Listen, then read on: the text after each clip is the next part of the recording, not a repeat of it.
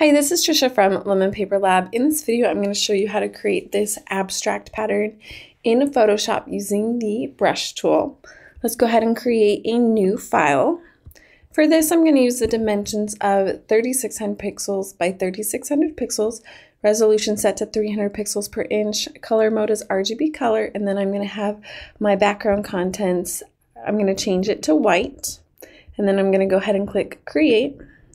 For this tutorial, I'm going to use the brush tool. So in your tools panel here, you can right click and you want to access the brush tool.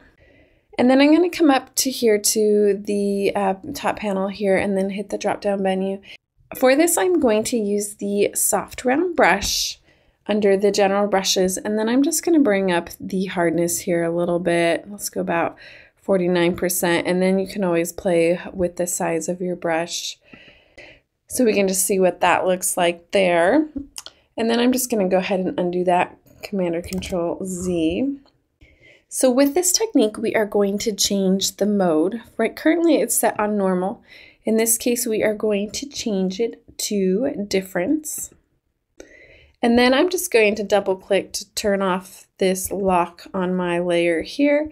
And then I want to change, uh, currently I have it set to default where the black is the foreground color and white is the background color. I'm gonna go ahead and switch that to where I have white as my foreground color.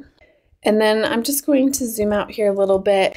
And in order to make this seamless, we are gonna go ahead and turn on our pattern preview mode. So I'm gonna go to view, pattern, preview. And then I'm going to start drawing. And so we have this black. And then what this difference mode does here for your brush is if you draw over it, it will um, affect your colors. It takes the color that you already have and applies that difference mode. So if we just continue to draw on our canvas here, and then each time, if you just kind of click and let go, it will help um, create this effect. And then you can just keep doing that until you get a, um, a pattern that you like. And I'm going to zoom out a little bit more. So Command or Control with the minus key, just to kind of see how it's looking um, at a larger scale here.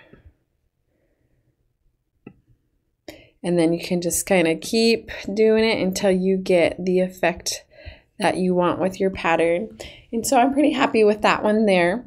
So to save this as a pattern, when you have the pattern preview mode, you can always click this plus icon in your patterns panel.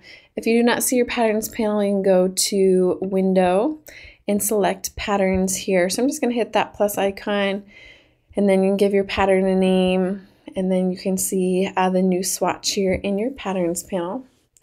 And then we'll, let's go ahead and turn off our pattern preview mode. So we'll go to view, turn off the pattern preview. And here we have a, the swatch of our pattern. So I'm going to zoom back in, just hitting that command or control with the plus key.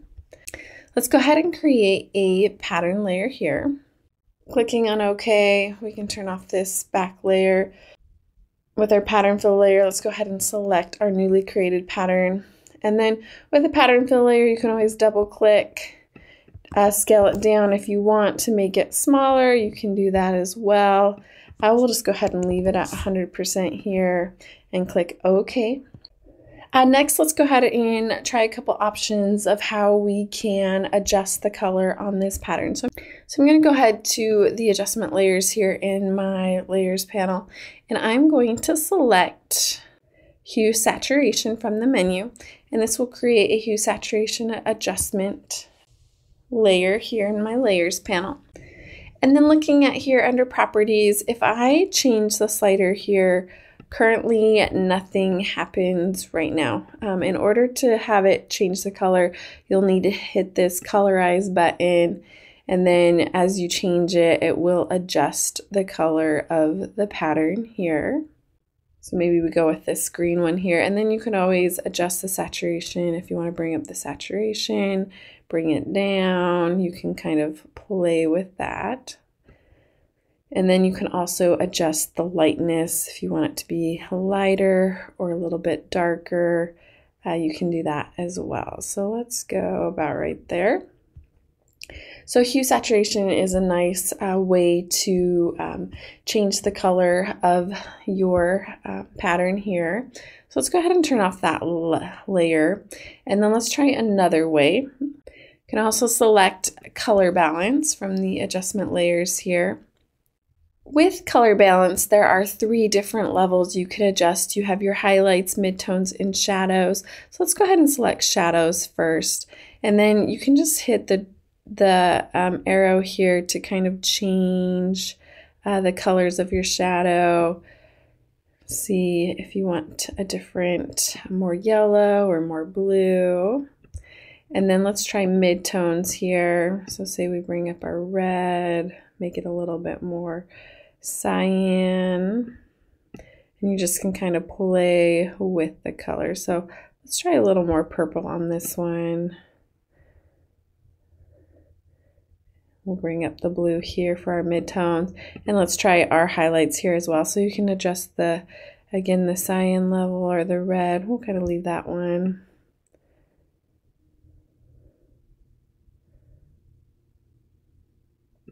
And then it, you can just play with the different colors here. So let's bring, let's go a little bit more magenta so we can get more of an overall purple um, feel to this pattern. So that's another way, um, color balance, that you can adjust your pattern here. So let's go ahead and turn that one off and let's try another adjustment layer. Another one is the curves. And so uh, with the curves here, you can hit the drop down arrow and you can adjust the um, RGB channel red, green, and blue separately. So if we wanted to adjust the red, you can just clicking on the curve here, you can uh, manipulate the color um, depending on where you are at in the curve. So, so maybe we do a little bit more red with this one. And then we can try our green curve here. Uh, same thing with the green is you can adjust how it looks on the curve. So if we go down a little bit here, we get a little bit more pink, which looks cool. And then you can also do that with the blue um, level as well if you want to change that there as well. So let's go ahead and keep it at this kind of pink color here. And so uh, that is one option there as well. So We've done hue saturation and color balance curves. Another option here is if you go all the way down to the bottom and go ahead and click on gradient map. And so here under the properties here, you can double click here and it will bring up the gradient editor. Here is our current um, gradient map where we have our highlights over here and we have our shadows on this side. And so if you want to change um, the color, you click on the icon here and you can uh, select the color. Um, we haven't done a green yet, so let's move this to the side so we can see it a little bit. So we can select a green and then you can do the same thing. Uh, we'll go ahead and click on OK there. And then you can select this side. Currently it's set to black. Um, we'll go back to our green if you want it a little bit different. Um, even if you changed it lighter to where the shadows are lighter, um, you can do that as well. So let's go back to darker version here and then just clicking on OK. So currently we have our pattern here. And then if you wanted to add an additional color, you can just click on the um, on the line here and select the color. So say we pick an entirely different color, you can introduce a new color. Maybe we go with a little bit, just try out different colors here. Maybe we go with the yellow. And then we'll click on OK there. And then let's drop another one here. We'll select this and you can just play around with the colors there, having a um, different range of colors. And then Photoshop also has some presets here, so you can pick from some of the presets. So maybe we pick one of these purple ones. Try a pink one here, that looks cool. So you have um, th that option as well to um, change your uh, color of your pattern.